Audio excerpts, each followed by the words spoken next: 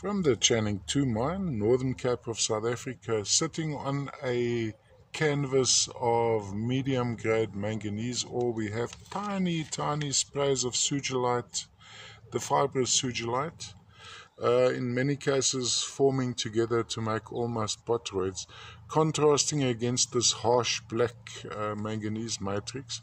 This is obviously, well, this is what the guys in the Northern Cape are actually mining for, the manganese ore, and then as a byproduct you have this lovely, these lovely crystals sitting on this matrix. Um, yeah, and, and, uh, the the the sugilite, uh, the the fibrous sugilite would would mainly be coming from the N'Chwaning Two mine, whereas the the solid sugilite you'd make uh, uh, cabs, etc., or even facet would be from the more from the Wessels mine. But mind you, the the the Kalahari mines do intersect. So N'Chwaning one, two, three Wessels, they all at some point, uh, most likely underground, intersect.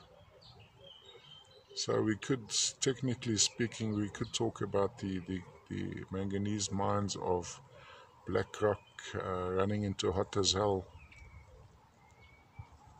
Lovely, lovely contrast. Look at that art. It's it's actually art. I mean, say it uh, anyway. Look at that. The the blue sitting on this black matrix, accentuating the color.